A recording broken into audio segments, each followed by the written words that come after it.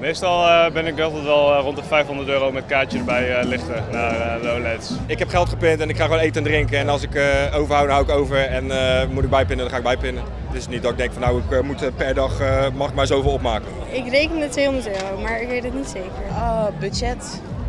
Nee, ja, als ik honger heb, heb ik honger. En als ik dorst heb, dan dorst. Ja, nee, ik heb eigenlijk niet 50 euro per dag? Ja, ik heb niet echt een budget. Ja. Oh, deze wil ik graag op de film. Ja. Is het gelukt? Nou, ik ben al op vakantie geweest en ik had echt nog maar 100 euro over. Dus ik moet het daar maar mee doen.